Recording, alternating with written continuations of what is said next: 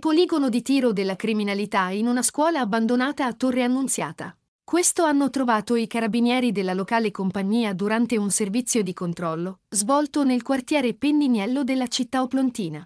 Sulle pareti decine di fori di proiettili. Un luogo usato verosimilmente per testare le armi da fuoco nelle mani della criminalità organizzata. In un vano ricavato tra i mattoni, trovate anche 40 proiettili a salve. I militari hanno battuto tutto il rione, ma è sempre nella scuola che hanno trovato 200 grammi di marijuana, con relativo materiale per il confezionamento della droga in dosi e quattro bilancini di precisione. Numerosi anche i controlli per il rispetto del codice della strada. Tre le patenti ritirate e sequestrato un veicolo. Denunciato un diciassettenne per ricettazione. I carabinieri lo hanno trovato in possesso di una bicicletta elettrica rubata.